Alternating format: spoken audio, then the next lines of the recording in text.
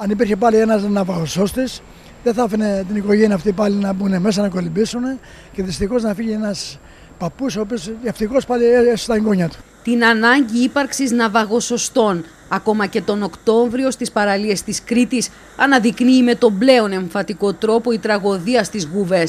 Αν υπήρχε έστω σε αυτή την παραλία όπως πολλές άλλες ναυαγοσώστης, θα είχε κάνει πρόληψη, θα είχε προλάβει το περιστατικό πριν εξαλειχθεί. Αν υπήρχε ναυαγοσώστης με μια σφυρίχτρα να, να, να πηγαίνει πάνω κάτω, πιστεύω δεν θα είχε πνιγεί κανείς.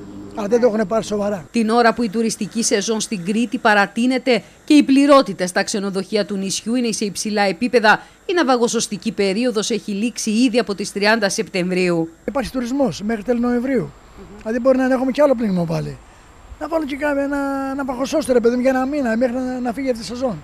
Είναι αμαρτία να πνίγονται ξένοι ανθρώποι. Προφανώς δεν υπάρχει δυνατότητα να υπάρχει ναυαγοσώστη σε κάθε σημείο που κάποιος θέλει να πάει να κολυμπήσει.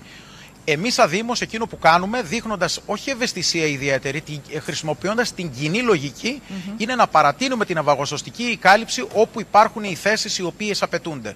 Σε συγκεκριμένες θέσεις όμως, όπως και είχαμε και στο παρελθόν στις Γούρνες ένα πνιγμό, όπου και εκεί η συγκεκριμένη παραλία που πριν από περίπου ένα με ένα μισή μήνα είχαμε άλλο ένα πνιγμό, δεν ήταν πολυσύχναστη. Στον τόπο της τραγωδίας δεν υπήρχε ναυαγοσώστη.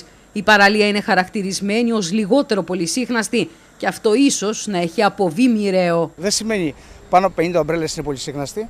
Μια παραλία που έχει 30 ομπρέλες ή 20 έχει 100-120 λουόμενους. Αυτοί έχουν ανάγκη και αυτοί όπως οι υπόλοιποι προστασίας από τον ναυαγοσώστη. Καλό είναι λοιπόν να μεριμνήσει η πολιτεία ε, και σε αυτές τις παραλίες να έχει ασφάλεια ναυαγοσωστική κάλυψη έτσι ώστε να περιορίσουμε κατά πολύ περισσότερο όπως έχουν περιορίσει τους πνιγμούς από ό,τι είναι.